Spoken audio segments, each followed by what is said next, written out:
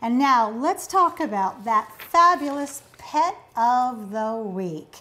We are looking to meet Laredo. Laredo is a stunning Malinois pup with a heart as big as Texas.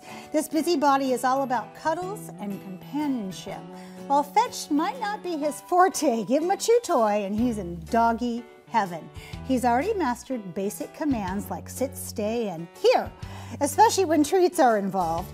With his Malinois heritage shining through, Laredo, as you can tell, is a bundle of energy and ready to learn. He'll thrive in any environment as long as he gets plenty of opportunities to burn off energy. Plus, he gets along with both male and female dogs. And the Humane Society would like to remind you that now through May 15th, Thanks to Bissell Pet Foundation, they are reducing adoption fees going on right now 50 for dogs, 25 for cats, and 5 for critters, which means that Laredo can fit your budget. Now is the perfect time to add a new member to your family. And to learn more about Laredo, go to Tacoma Pierce County's website. And of course, they'll have all the information there.